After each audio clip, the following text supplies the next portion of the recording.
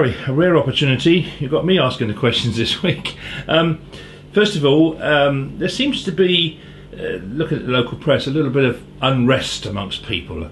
Uh, are you aware of this? And they're, they're, certainly sounding off about it. I just wonder what your thoughts were on it. I think you know a lot of people have their uh, opinions on, on how we're doing.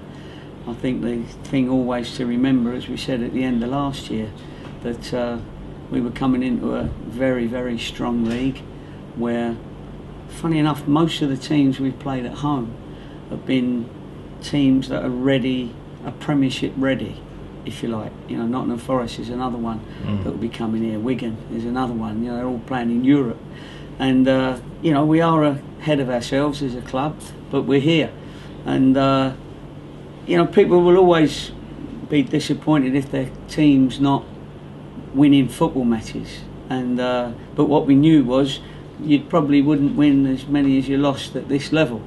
Um, and then people have that chance sometimes to express their opinion, and, and, and they do that. But um, all I can all I can do is is give hundred percent. Try and get the players to give hundred percent. I think there's been some good football, very good football from our part. There's been some good tactics. We've kept ourselves in every game and given us in most games a chance to win it, i.e., with opportunities and that that we've created. Um, everyone knows the bad luck we had with decisions that they've now said yes, we should have had six more points, and then people maybe wouldn't have had such a, uh, a as an opinion as they as, as, they've got as far as being disappointed. But um, yeah, listen, uh, you know the football connoisseurs they understand what's going on and. Um, uh, as long as the, the, the, club understands the, the level that we're at. Um, and then the next thing everyone has to do, is, as we said before, is trust the manager and the, well, the management. And because we picked the team and uh, to win that a, a, particular game, and we see them all week. Uh, we know exactly the ones that are strong, the ones that are not so strong, those that are um, shrinking violet sometimes, and, and, and, those that have got that mental toughness. And uh, you know, we have to pick a team every week accordingly. But you know, the boys are giving it a right go, um, so we're happy with that. Uh, listen, there's always going to be somebody has a different opinion to everybody else. Um, hopefully, the majority of people are seeing that uh, we're giving it a right go. You've not had the opportunity to field a, a particularly regular side. You, have chopped and changed a little bit as, as we've gone along. Partly injuries, perhaps, and, and partly you know loans coming in and what have you. Um, do you think that's having an effect, or, or, are you comfortable with the way that you're doing it? Um, I don't. I don't think so. You know, I mean, we could do it another way, and we could have got beat five or six every week. You yeah. know what I mean? You know, we we are playing at that type of level. And on occasions, Middlesbrough have got four and Derby have got three, but most other games we've either one-one, drawn, drawn a couple, and you know that little league below, if you like, um, the teams that are below halfway, they're the teams that uh, are the ones you're really competing with because the top mm. ones are, as I say, are ready to go to the to the Premiership. But um, you swap and change because there's niggles, there's little injuries. You bring in a what is a couple of great loans, and then you might lose them through injury mm. sometimes, which we've had. People at this level in our group lack a little bit of consistency sometimes. So how long do you keep getting it around the head with a stick before you duck? Um, you know, so we have to make that decision. How many times do you get hit with that stick hmm. before mm. we change it, and uh, and that's what we do. But um, you know, I'm not doing this for Gary Johnson. I'm doing this for this football club and uh, our supporters, and uh, and what we're doing is is we're learning the game at this level. Our players are learning the game at this level, and and, and we are at the stage now where they need to have learned, and uh, and we got to pick the, the players that we think are going to do the job, as opposed to just giving everybody an opportunity now. Do you think they have learnt the job? Some have, mm. and some haven't. Um, some will get uh, an, another opportunity when it comes around if they show in training that um, they've they've worked hard and they're trying to improve their championship game, if you like. Uh, all the players here know exactly what our game is in the championship and how we want to play. Uh, they could all do seminars on it, um, and the only way you know they show us that they believe in it is uh, is to go out there and, and produce what we're asking them to produce. So if they don't, then they either don't want to do it or they can't do it. Yeah. Either way, they don't get picked. Now, I know it's been a bit frustrating for you with, with loans. I mean, particularly Fraser comes in last week, manages 20 minutes Yeah. off, gone back to Wigan. Yeah. Uh, um, first of all, how long is he going to be out, do you think?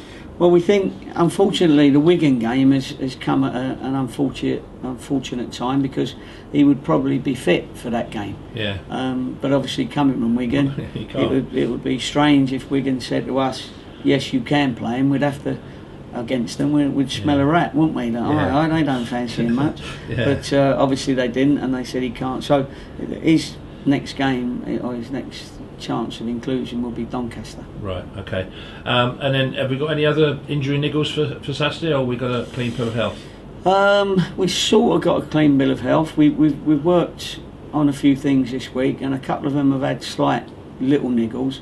Um, they're certainly putting in the, the work rate for us in training, and I'm hoping that that will, uh, you know, present itself in the games.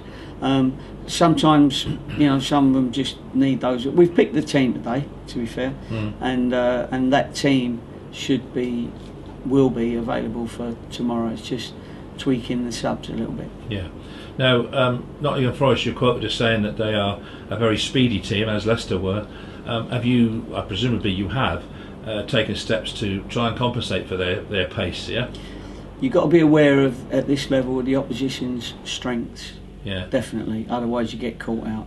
There's a lot of players that have played at this level and higher uh, often, and are very experienced at this level and very clever. And uh, you know, you take Andy Reid for instance. You know, you, you, you take um, Lansbury, who come from Arsenal. You know, he's had that sort of Yeah. up, upbringing. Um, and and they they've just you know Henderson up up, up the top. They they they've got a squad of almost household championship stroke premiership names, and uh, it's unbelievable the squad they've got to choose from. And but they are a top team, and they are ready. All they've got to do now is get themselves in them top places, and, and, and they will be back in the in the premiership. And all we've got to do is stop them from getting those And top we places. and we got to stop them. And uh, this is a they're always great tests for us, and you've got to enjoy these because this always shows you how close you are or how far away you are from Mm. the top teams. QPR, we wasn't far away. No. Reading, we wasn't far away. No. Leicester, we wasn't far away. Um, you know, and and then when we played the teams that are in the bottom half, Sheffield Wednesday, we drew, should have won. So they tell us. Mm. Oh, Uh, Bolton, we drew, should have won. So they tell us.